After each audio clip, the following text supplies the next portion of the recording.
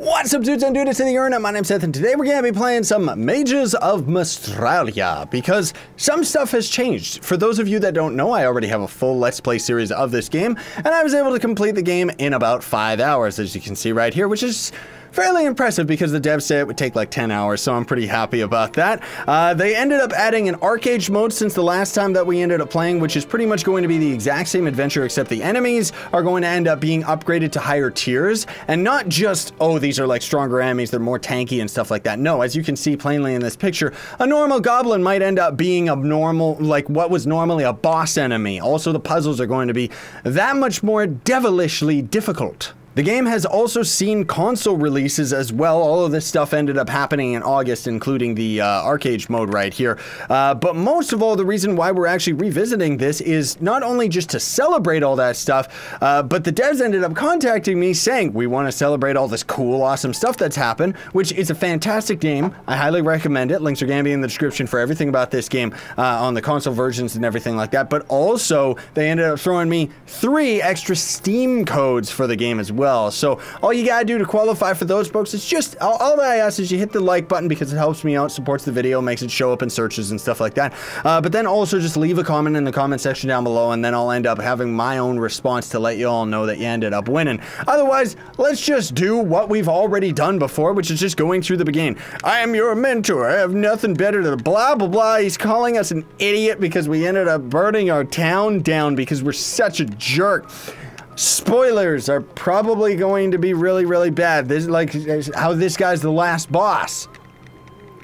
That's not a spoiler. He's not actually the last boss at all. I'm just pretending that he is. Shut up! Stop talking!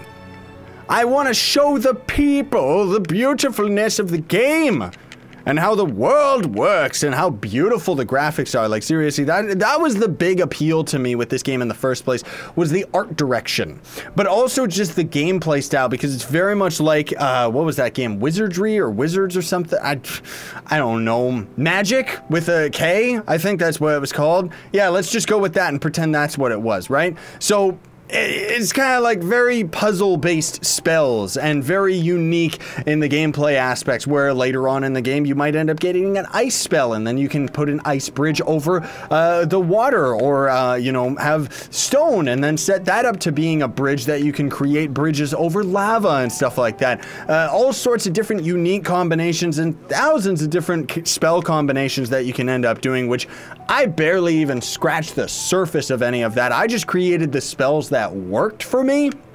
I did not create very impressive ones. I'm just giving you a quick heads up if you do actually decide that you want to go through my entire Let's Play series. And again, links will be in the description for that. Okay, let's just run out here and go into the world. Yes, I must... Uh. It's a good thing there was water down there and not lava, acid, or spikes because I can't really stand spikes, man. Fun fact about me personally, I'm allergic to spikes. They kill me. It's a very unique and very embarrassing secret of mine. Okay, let's get going. Let's go, go on to the adventure. Borealys uh, game presents a game produced by Le Felix uh, Kouchen, directed by Patrick J. Monduo. I'm saying all these names completely wrong. If any of them ever watched this video, they would probably dislike it and uh, request for me to delete it. Okay, let's go and grab this crazy book of power. He talks to us the entire time, and I think he's like, there, there's like something where he's like secretly really bad, right? Something like that. A spell book? I wonder what it's doing here. Oh, it's not a reference to Zelda. Who are you? Uh, did you just speak? You're a book. Perhaps I did. Okay, get in my inventory. Spell book unlocked. So now we got special spells. Let me do the special spell. and my dialogue. Amedi. See, now we ended up gaining a focus ability, which is going to be explosions and junk like that, which for now is just going to end up being our basic melee attack. But then the whole thing is that you can end up combining all sorts of different elements with your melee attacks and chaining whether or not you want to do a melee attack and then a ranged attack and then a block attack and all sorts of things. All in crazy combinations, dude. That is the key here. Combinations. That's a key word here. Die Die, you stupid idiot! Well, that wasn't that much stronger. Arcage my foot. No, seriously, uh, I'm actually very, very scared at the fact that the arch... Uh, mage? Did I say arcage? Uh, the arch mage mode would be insane, dude, just because of the fact that like this game was already so difficult for me. Granted, when I was going through this game, see there's our aegis, that is our uh, self-blocking ability, at least for right now, and you block with different elements and junk like that. Uh, but man alive, when I played through this game, dude, like I I don't even know how I got through it as quickly as I did. I'm pretty confident that the game wanted us to, uh, you wanted me to end up getting like a whole lot more of the magic spells and going into the secret areas and everything and unlocking all sorts of different weapons and everything. But I didn't. I ended up just going and fighting the last boss with like two hits or something ridiculous. I really don't know how I did it. Like seriously, because I normally suck at video games. Okay, now we got our projectile spell, which as of right now, we don't actually have a rune to turn it into a projectile. So as of right now, all we can really do is just, okay, uh, set it up as a static spell that's just going to stay right there, right put, okay? Uh, because later on, you're gonna end up getting a rune that you can put on the spell that makes it shoot as a projectile, or one that makes it shoot to the right or to the left. Yes, they actually wasted two runes to make it shoot to the left or the right. I know it's really, really weird and strange. Enemies in this game get so super duper strong and tanky, dude. There is no way I would be able to beat this game on a harder difficulty like it is right now. Like, seriously. Creo allows spells for durable effects. Speaking of being able to cross over a river of ice, because otherwise the water kills us. Like, seriously, it's not fun. Okay, get out of here, dude. These enemies are actually, like, taking a lot more hits, too, which is kind of annoying. Get out of here, you. Oh, we actually scared him into the water like an idiot and just beat him. Wow. All right, well, now we ended up getting ourselves a little town portal action so we can warp over to Haven, which reminds me of Fable. Wow, I forgot how pretty this game was. That was also another thing that we didn't end up getting to touch in my Let's Play was, uh, there's kind of like a big challenge room. Again, really reminds me of Fable. I love that game. I know it didn't really have the best reputation, but it was awesome nonetheless. And a lot of this game reminds me of it. That's why it's relevant. Uh, they ended up having a arena in this game as well that if you can manage to get through it, but you got to be not only good at the game, but good at uh, finding out the cheap spell combinations that end up defeating all the enemies and stuff like that. If you can get through it, you can get yourself like a powerful wand and really, really powerful robes that look really, really sick on your character as well. I only know because I've seen screenshots online, not because I was able to actually get it, because like I said, I suck at these video games. And uh, also there's that weird crazy character on our right, which I think has something to do with like at the end of the game, it's like, I'm secretly going to be in the sequel or something, which would be absolutely awesome if they do manage to end up making a sequel because this game is absolutely great, like really worth checking out. I know I kind of just keep repeating myself on how awesome this game is and the high energy that I have towards it, but Again, most of all, that's just got to do with the fact that I already played through this game and I have very fond memories of it, and I don't really feel like actually explaining all the same things that I already ended up doing. Like, I mean, I have a link in the description not only to my Let's Play series, but also to my first impression of the game, where I talk about the different gameplay mechanics and just kind of how the game ends up working a little bit more specifically. Okay, is this that much harder? wow, they this Archmage mode, man, it's so difficult.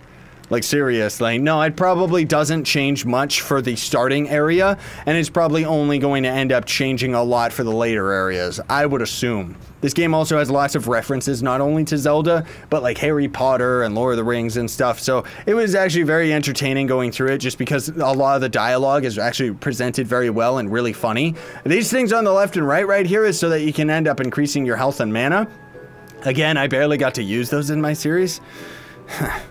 I get too impatient when playing games, man. Like, because I'm like a Let's Player, I don't really pay attention to the small details. I just kind of go and hope that it works. Hello, young lady. Okay, hello, weirdo. Uh, this sign right here in the lore, the purple sign, is supposed to be all like, only mages can see this, and that's how you end up getting back to the starting area. And then, uh, very cool too, because you pretty much only end up spending a limited amount of time in each of the zones, while you can end up returning back back to each of the areas with different spells later, kind of Metroid style. For the most part, in the series that I did, and I'm referencing that a lot, sorry to say folks that aren't interested, uh, but in the series I ended up just going into each area maybe like once or twice to end up like completing the dungeon, getting some loot that was required to get out of it, and then you just continue. Bob's your uncle, and then you're done. Mistral Woods! Ma ah ah! Where are the stronger enemies? Are those the stronger enemies yet? I'm looking for the stronger enemies, not just the same enemies with more health. Otherwise, I look like a fool because I said we were going to have special boss enemies and junk. Which I'm pretty sure that they actually do have. Uh, but yeah, the normal enemies are what we're fighting right now, which is very convenient because otherwise I would be dead in two seconds.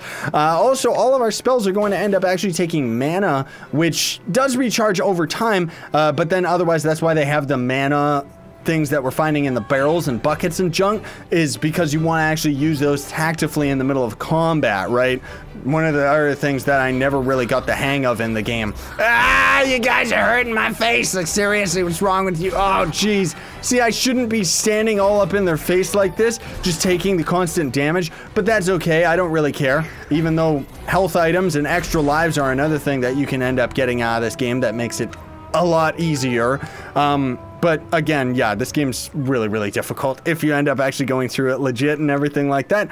In any case, that's pretty much all the time we have for today. And most of all, I just wanted to kind of show you all just a quick little, here's this game that you may or may not have seen me play that is actually worth picking up. Uh, again, I'll have links in the description to every version of this game, but the codes that I'm going to be giving out are Steam only. Okay, so keep that in mind. But otherwise, thank you so much for watching. I personally would appreciate if you would like, share, favorite, and subscribe for more daily content. All of that is also going to end up building loyalty points to my merch store. Links are in the description for that, where you can get this shirt and a bunch of others. Sayonara and stay epic. And thanks to the devs for throwing me all the extra codes and telling me about all this extra awesomeness.